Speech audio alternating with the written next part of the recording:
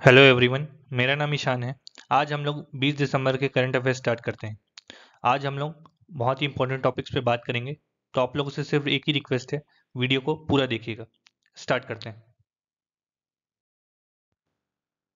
आज हम लोग क्वेश्चन से पहले एक इंपॉर्टेंट टॉपिक पे डिस्कशन कर लेते हैं और जो टॉपिक है वो है फीफा वर्ल्ड कप 2022 इसको अर्जेंटीना ने जीत लिया है। अर्जेंटीना ने पेनाल्टी शूटआउट में फ्रांस को चार दो से हराकर 36 साल बाद फीफा विश्व कप जीता। आप यहाँ पे देख सकते हो, जो विनर्स है 1930 से 2022 तक। 2022 का जो विनर है वो अर्जेंटीना, इससे पहले था फ्रांस, फिर था जर्मनी उससे पहले। तो इसी भी हम लोग डिस्कशन करेंगे कि गोल्डन बूट किसको मिला गोल्डन बॉल किसको मिला, ये कहाँ खेला गया, ये हम लोग इसमें डिस्कशन आज करेंगे। फिर हम लोग क्वेश्चन की तरफ़ आगे बढ़ेंगे। अब बात करते हैं फीफा विश्व कप 2022 की। तो फीफा विश्व कप 2022 का जो फाइनल मैच है, वो खेला गया लुसैल स्टेडियम में। ये है कतर में। और ये जो मैच है 18 दिसंबर को खेला गया, जिसमें कि अर्जेंटीना ने फ्रांस को हरा दिया और 36 साल बाद अपना तीसरा विश्व कप जीता। ये जो मैच है, पेनाल्टी शूटआउट में गया था, जिसमें कि अर्जेंटीना ने फ्रांस को चार दो से हराया। अब बात करते हैं पुरस्कार की। तो गोल्डन बॉल पुरस्कार ये मिला है लियोनल मेसी को। गोल्डन बुट अवार्ड ये मिला है किलियन एम्बापे को। Young player of the tournament पुरस्कार ये मिला है एंजो फर्नांडिस को और गोलकीपर ऑफ़ द टूर्नामेंट पुरस्कार, जिसको कि हम लोग गोल्डन ग्लव्स अवार्ड बोलते हैं, ये मिला है एमिलियानो मार्टिनेज को। अब बात करते हैं कतर की तो मैप के अंदर में आप कतर को देख सकते हो। कतर मिडिल ईस्ट के अंदर में एक कंट्री है, जिसका कैपिटल है दोहा। अब हम लोग क्वेश्चन की तरफ़ आगे बढ़ते हैं। आज का हमारा पहला क्वेश्चन है name the P fifteen B steel guided missile destroyer, which was recently commissioned into the Indian Navy in Mumbai. P-15B steel guided missile विध्वंसक का नाम बताइए, जिसे हाल ही में मुंबई में भारतीय नौसेना में शामिल किया गया है। तो इसका आंसर है A I N S Mormugao I N S Mormugao project 15B के तहत विशाखापट्टनम श्रेणी के चार विध्वंसकों में से दूसरा विध्वंसक है। पहला पी फिफ्टीन बी युद्धपोत विशाखापट्टनम नवंबर 2021 में कमीशन किया गया था। और बात करें आई एन एस की तो इसका लॉन्च 17 सितंबर 2016 को किया गया था और इसका जो कमीशन है वो 18 दिसंबर 2022 को किया गया है। ये जो शिप है इसके अंदर में एबिलिटी है कि ये न्यूक्लियर बायोलॉजिकल और केमिकल वॉरफेयर के दौरान फाइट कर सकता है, क्योंकि इसके अंदर में टोटल एटमॉस्फेरिक कंट्रोल सिस्टम है। नेक्स्ट क्वेश्चन देखते हैं।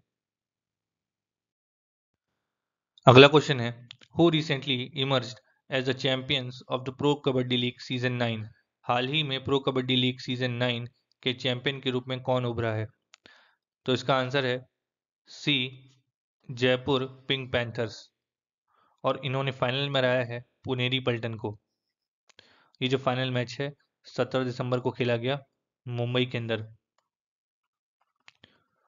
मुंबई के N S C I, S V P stadium के अंदर में। और बात करें जयपुर पिंक पैंथर्स की तो इसके ओनर हैं अभिषेक बच्चन। अब बात करते हैं अवार्ड्स की। ये इंपॉर्टेंट नहीं हालाँकि बट फिर भी हम पढ़ लेते हैं यहाँ पे। Vivo perfect player of the final ये मिला है सुशील कुमार को पिंक पैंथर्स के। Dream Eleven game changer of the final ये मिला है वी अजीत कुमार को पिंक पैंथर्स के। मोमेंट ऑफ़ द फाइनल ये मिला है अंकुश राठी को पिंक पैंथर्स के। मूव ऑफ़ द फाइनल ये मिला है वी अजीत कुमार को पिंक पैंथर्स के। और Vivo perfect moment of the final ये मिला है सुशील कुमार को पिंक पैंथर के। और जितने भी अवार्ड्स दिए गए हैं, इसके अंदर में जो प्राइज मनी है, वो है फिफ्टी थाउज़ेंड की। नेक्स्ट क्वेश्चन देखते हैं। अगला क्वेश्चन है which hockey team recently won women's F I H nations cup 2022 final किस हॉकी टीम ने हाल ही में महिला F I H nations cup 2022 का फाइनल जीता है? तो इसका आंसर है डी इंडिया इसीलिए इंपॉर्टेंट क्वेश्चन बन जाता है। और इंडिया ने फाइनल में स्पेन को हराया वन ज़ीरो से। बात करें इस टूर्नामेंट की तो ये जो टूर्नामेंट है 11 से 17 दिसंबर तक चला वेलेंसिया, स्पेन के अंदर में। और ये जो हॉकी टीम है, इसकी जो कैप्टन है, वो है, उनका नाम है सविता पुनिया। और जिन्होंने विनिंग गोल मारा उनका नाम है गुरजीत कौर। नेक्स्ट क्वेश्चन देखते हैं। अगला क्वेश्चन है which Indian film has been nominated in the two categories at the Golden Globe Awards to be held in January 2023 जनवरी 2023 में आयोजित होने वाले गोल्डन ग्लोब अवार्ड्स में किस भारतीय फ़िल्म को दो श्रेणियों में नामांकित किया गया है? तो इसका आंसर है बी, आर आर आर। इसके जो डायरेक्टर हैं, वह एस एस राजा मौली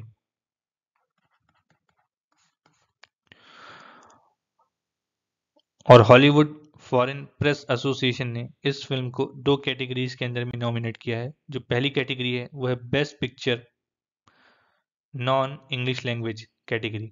जो दूसरी कैटेगरी है, वह है best original song Naatu Naatu. तो इस, इन दो कैटेगरीज के अंदर में इस फ़िल्म को नॉमिनेट किया गया है गोल्डन ग्लोब अवार्ड्स जो कि जनवरी 2023 में होने वाले नेक्स्ट क्वेश्चन देखते हैं।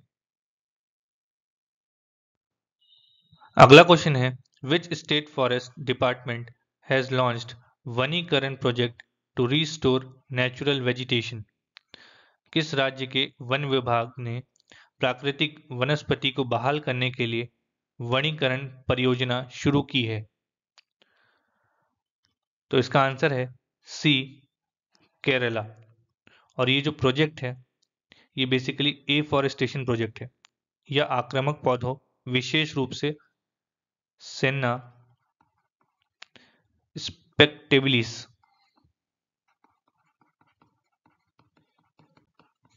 को जड़ से खत्म करने के लिए एक वनीकरण परियोजना है। नेक्स्ट क्वेश्चन देखते हैं।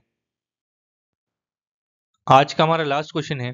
PM Modi participated in a program commemorating Shri Aurobindo's dash birth anniversary PM Modi ने श्री अरबिंदो की कौन सी जयंती के उपलक्ष्य में एक कार्यक्रम में भाग लिया? और इसी कार्यक्रम में प्रधानमंत्री नरेंद्र मोदी जी ने एक कॉइन और पोस्टल स्टैम्प भी लॉन्च किया था। ये जो क्वेश्चन है, इसको हम लोगों ने डिटेल में पिछली वीडियो में कवर किया हुआ है। जिन लोगों ने वो वीडियो नहीं देखा, आपको ऊपर आई बटन में या वीडियो के एंड में आपको मिल जाएगा। और जिन लोगों ने वो वीडियो देखा है तो इसका आंसर आप ज़रूर कमेंट करें। ये क्वेश्चन आप लोगों के लिए है। और प्लीज़ वीडियो को लाइक कीजिए चैनल को सब्सक्राइब कीजिए और अपने दोस्तों तक शेयर कीजिए इन वीडियोज़ को। मिलते हैं हम लोग नेक्स्ट वीडियो में। Thank you